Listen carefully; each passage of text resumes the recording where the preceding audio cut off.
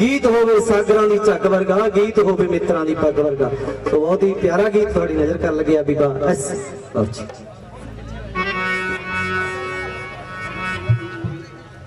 ਲਾਡਾਂ ਦੇ ਨਾਲ ਪੁੱਤ ਪਾਲੇ